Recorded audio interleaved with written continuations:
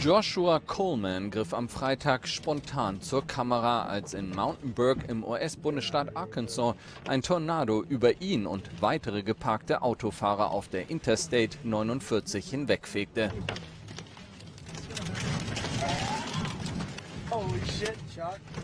Dabei sah und hörte man, wie Blätter und Äste durch den starken Wind heftig gegen das Auto geschleudert wurden. Nach Angaben von Meteorologen und örtlichen Medien kam es am Freitag zu rund zehn Tornados in der Region.